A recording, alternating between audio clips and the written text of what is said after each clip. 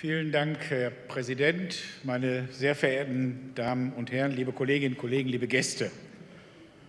Zwei, drei Vorbemerkungen. Herr Lindner, um einfach Ihrem Alarmismus zu widersprechen. erwecken ja den Eindruck, als ob 2025 in Nordrhein-Westfalen eine Bildungskatastrophe im MINT-Bereich ausbrechen würde.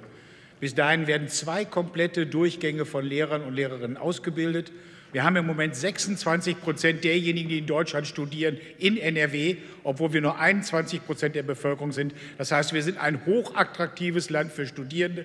Und ich bin auch ganz sicher, dass bei den Schwerpunktsätzen genau die notwendigen Zahlen innerhalb von zehn Jahren auch zur Verfügung stehen werden. Insofern Gelassenheit und nicht diesen Katastrophismus. Zweite Bemerkung. Ich habe eben, lieber Christian Lindner, so ein bisschen Spaß gehabt am Anfang als du dann was erzählt hast von 16 Megabit. Ich habe einfach noch mal in der Vorbereitung eine Anfrage, eine bösartige der Abgeordneten Horst Becker und Rainer Priggen vom 19. Februar 2010. Da wart ihr noch in der Regierung, Armin Laschet noch im Kabinett. Da haben wir beide gefragt, wann kommt das schnelle Internet 2010 auch nach Lennig-Boslar? Anfrage 14-10985. Und dann habt ihr uns eine lange Liste geschickt mit den Geschwindigkeiten, die das schnelle Internet hat, alle Kommunen aufgeführt auf ganz vielen Seiten. Da steht immer Verfügbarkeit 100 Prozent 99 100. DSL-Verfügbarkeit 384 Kilobit. Das war, als ihr mit der Regierung aufgehört habt, für euch schnelles Internet. So viel dazu, dass du mir gegenüber eben, ja, ist ja gut, ist ja gut, 384 Kilobit. So, und jetzt würde ich ganz gerne, um auch das klarzustellen, würde ganz gerne, entschuldigen Sie, Frau Ministerpräsidentin, ich fange an mit einem Satz aus der Regierungserklärung von Ministerpräsident Winfried Kretschmann am 15. Oktober 2014. Ein Satz nur. Zitat, bei der digitalen Infrastruktur liegen wir zusammen mit NRW an der Spitze der Flächenländer. So, das sagt der baden-württembergische Ministerpräsident.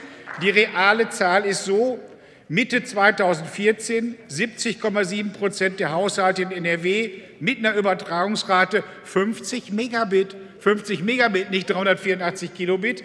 Baden-Württemberg 69,2, Bayern 62,4. Also Kretschmann muss ja auch nicht in seinem eigenen Parlament sagen, NRW ist noch ein bisschen vor uns, aber er ist an der Stelle fair. Er ist jedenfalls fairer mit dem Land, als Sie beide das tun, Sie und Herr Laschet, wenn Sie immer als erstes das Land schlecht machen.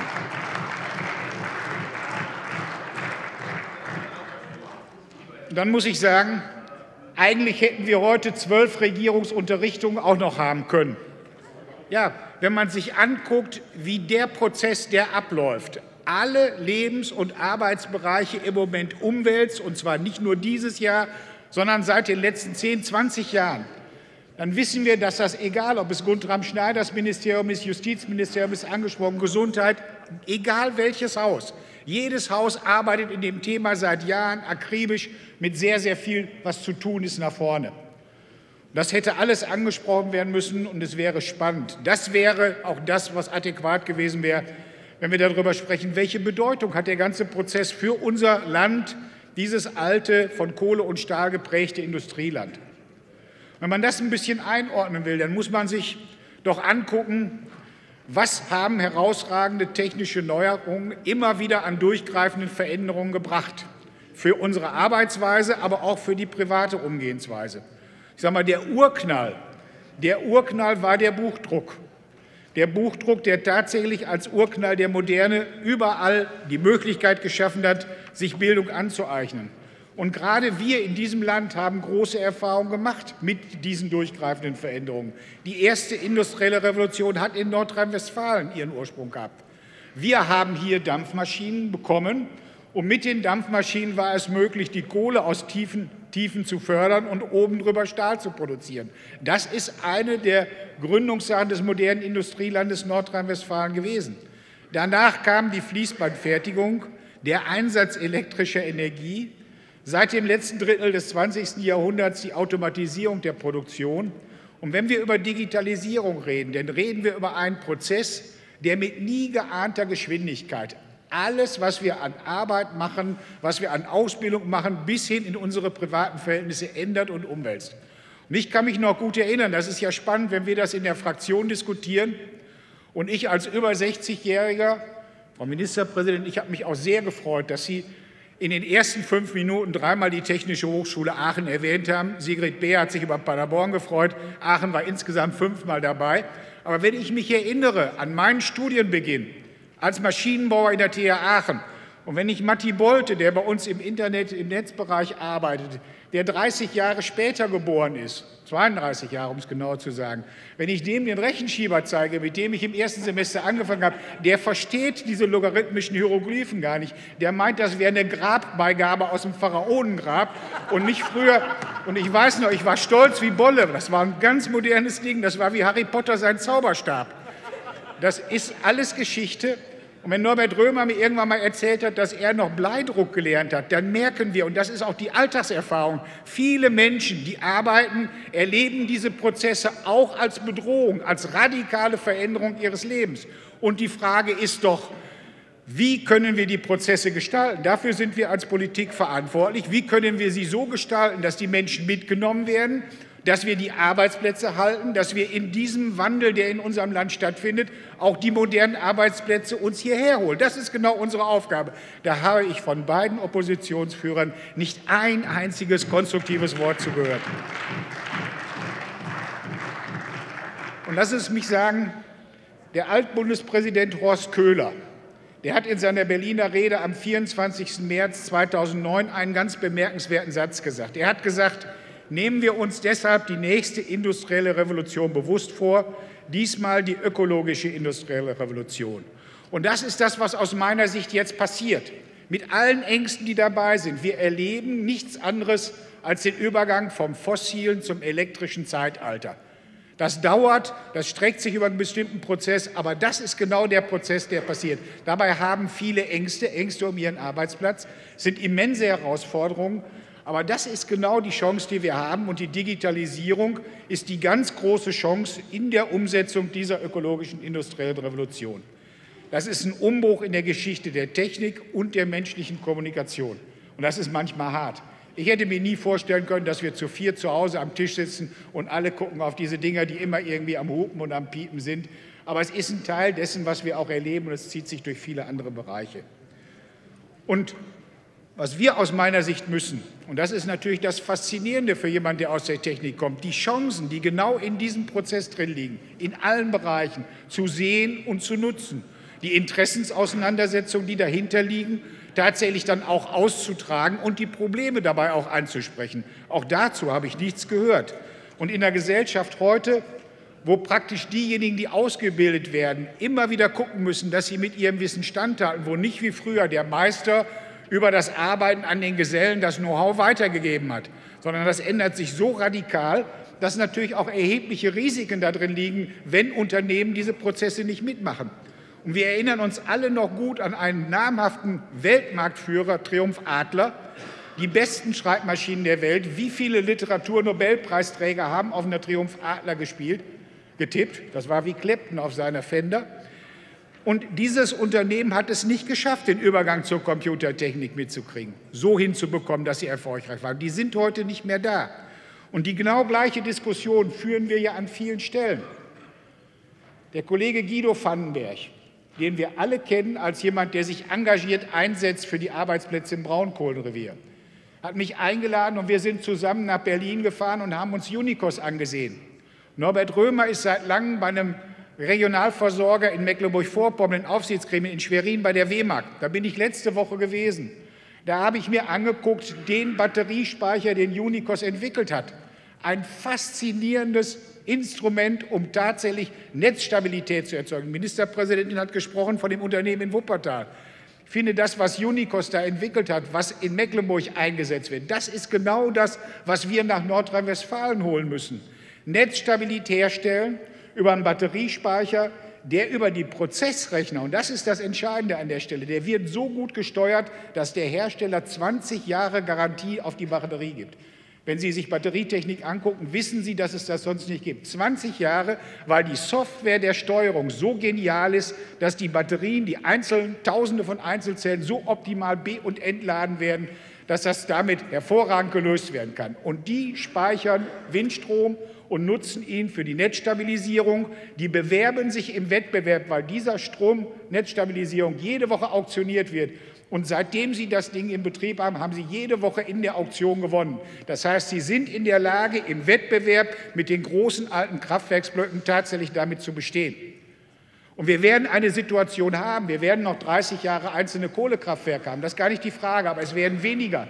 Und die, die jetzt Netzstabilisierung machen über die Schwungmassen der Kohlekraftwerke, die stehen dann immer mehr im Wettbewerb mit denen. Und nachdem wir in Berlin waren, ist Guido Vandenberg zugegangen und hat versucht, bei den großen regionalen Unternehmen durchzusetzen, dass sie das im Rheinischen Revier einsetzen. Die haben uns aber vorgeschlagen, CO2-Freilandbegasung von Rüben und Kartoffeln zu machen und sind nicht darauf eingestiegen. Da haben Sie sich, da hast du dir die Abfuhr geholt. Ich bin wenig später da gewesen, weil wir wollten das modernste Elektrofahrzeug, was in NRW gebaut wird, den Street Scooter in Aachen, die suchten eine Beteiligung über 6 Millionen, wollten dafür 50 Prozent abgeben. Ich bin bei dem gleichen Unternehmen gewesen habe gesagt, ist das nicht was für die Innovationsregion Rheinisches Revier? Kein Interesse. Automobilherstellung ist nicht ihr Bereich. Jetzt hat die Post es aufgekauft. Genau das ist der harte Kampf in der Realität, die Chancen, die Möglichkeiten, die in dem Prozess liegen, bei denen wir, und ich könnte die Kette jetzt aus den ganzen Jahren, wo ich hier mich mit Energiepolitik beschäftigt habe, mit Aufzählung von Unternehmen fortführen. Diese Chance zu nutzen, ist eine Frage, wo wir unterstützen können, wo wir hinweisen können. Wir waren wie Missionswerk unterwegs. Letztendlich entscheidet das Unternehmen. Und das ist natürlich eine harte Situation, wenn diese ganzen neuen Bereiche, auf die man rausgehen müsste, von einem Unternehmen abgelehnt werden. Wir müssen trotzdem weiterkommen. Deswegen ist es genau richtig, dass wir das virtuelle Kraftwerk hierher holen wollen. Wir wollen zusammen dafür kämpfen, dass wir diese neuen Chancen und Möglichkeiten, die wir brauchen im Rahmen der Energiewende, hier auch hinbekommen. Und ich sage auch ganz klar, ohne die Möglichkeiten der Digitalisierung wäre der Ausbau der Erneuerbaren überhaupt nicht möglich gewesen. Die erneuerbaren Energien mit ihren Potenzialen, die heute Primärenergieträger Nummer eins sind in Deutschland, gäbe es nicht ohne das. Und das ist genau das revolutionäre Gemisch, dass ich die Steuerung, den Einsatz dieser Technik nutzen kann, Zug um Zug aufbauen kann und damit sowohl Arbeitsplätze, Entwicklungsmöglichkeiten wie auch eine reduzierte Abhängigkeit im Import von Rohstoffen herstellen kann. Wenn wir die Kette so erfolgreich fortsetzen, dann muss ich vor keinem Ölscheich auf den Knien rumkrabbeln und ihn darum bitten, dass er uns Öl oder Gas hier liefert. Ich muss bei niemandem, der Menschenrechte verletzt, anstehen. Ich habe eine gerechte Verteilung des kostenlosen Energiezubringers Sonne und Wind für alle. Das ist noch eine Strecke, aber die Entwicklung dahin geht mit der Digitalisierung Meter um Meter voran. Und entweder machen wir das zusammen und stellen das Land auf, nehmen auch die Ängste derjenigen, die da jetzt noch Beschäftigung haben, diese Perspektive noch nicht so sehen, auf, bieten ihnen Lösungsmöglichkeiten. Aber der Weg muss eindeutig sein. Und so sind wir genau verabredet und das machen wir. Und auch dazu habe ich von beiden Oppositionsführern zur gesamten Energiepolitik nicht ein einziges Wort gehört. Ich führe das nur exemplarisch auf weil wir da bei vielen Firmen waren. Alles gilt genauso für den gesamten Bereich der Mobilität. Das, was Mike Groschek macht. Die spannenden Projekte im Bereich der Mobilität, die Umstellung der Mobilität Zug um Zug in Richtung Elektromobilität, mit besseren Batterien, mit den Möglichkeiten zu B- und Entladen. Die Krankenschwester, die aus der Eifel zum Klinikum nach Aachen fährt, 30 Kilometer. Das Auto steht zu Hause elf Stunden, steht am Klinikum neun bis zehn Stunden kann angeschlossen werden, ist ein mobiler Speicher, kann geladen werden. Das ist genau die Einsatzmöglichkeit für einen Treibstoffpreis, der ein Bruchteil ist von dem, was sonst Benzin kostet. Das geht nicht so schnell, das braucht Entwicklungsmöglichkeit, aber das ist genau die Perspektive. Und auch da muss niemand Angst haben. Unsere hervorragende Motorentechnik wird noch über lange Zeit die Basis sein. Aber wenn wir bei diesen anderen Bereichen nicht entwickeln, nicht aufpassen, das nicht bei uns forcieren, dann geht uns genau die Weltmarktführerschaft, die wir in der Technik haben, verloren. Und auch das ist ein Bereich, wo wir in Nordrhein-Westfalen darum kämpfen, dass wir die Wertschöpfung hier halten, sogar ausbauen. Deswegen ist das so wichtig. So, und so wie es im Verkehrsbereich gilt, Smart City, so gilt es in allen anderen Bereichen. Das, was wir im Gesundheitssystem haben, Kollege Bolte wird das gleich noch ansprechen, immense Möglichkeiten mit den älter werdenden Bevölkerung, mit, mit all dem, was wir ja selber wenn wir in den Bereich kommen, dass wir Pflege brauchen, was wir dann an Unterstützung brauchen, damit vernünftig umzugehen. Also wir könnten es für alle Bereiche durchdiskutieren. Es ist, glaube ich, eine sehr, sehr interessante und spannende, gerade wenn Sie Affinität zur Technik haben, herausfordernde Möglichkeit. Grundlage von allen, und das war ja der Ausgangspunkt auch, ist natürlich, dass wir den Netzausbau hier hinkriegen. Der Netzausbau ist auf Deutsch gesagt doch nichts anderes, wie wenn ich Stromleitungen habe, Wasserleitungen habe. Und der Netzausbau, ich habe es eben schon gesagt, laut Kretschmann, der da, glaube ich, als unabhängiger Zeuge gilt, ist in Nordrhein-Westfalen sehr gut, unter allen Flächenländern gut. Aber wir müssen noch viel besser werden und wir müssen auch die Schwächen da klar benennen. Wenn wir in Nordrhein-Westfalen sagen, wir brauchen den Breitbandanschluss, dann haben wir natürlich eine Differenzierung vor allen Dingen zwischen Ballungsräumen und ländlichem Raum. Und es kann nicht sein, das ist der ganz entscheidende Punkt, es kann nicht sein, dass wir nicht unsere Bemühungen ganz, ganz hoch ansetzen, den ländlichen Raum da die Chancengleichheit zu geben, die er braucht. Weil Breitbandanschluss schneller ist im ländlichen Raum Existenzgrundlage für Mittelstand, für Handwerk, für Firmen, ist Bildungszugang. Und es gibt nicht einen einzigen Grund, warum er das nicht haben sollte, warum wir das nicht da machen sollen. Und genau deswegen hat die Regierung ja die Schwerpunkte so gesetzt. Und der Kollege Lindner hat eventuell eben die Programme durcheinander gebracht, aber die ELA-Mittel sind an der Stelle deutlich aufgestockt worden. Und es wird intensiviert. Auch wenn wir führend unter allen Ländern sind, wird da noch deutlich äh, äh, aufgestockt.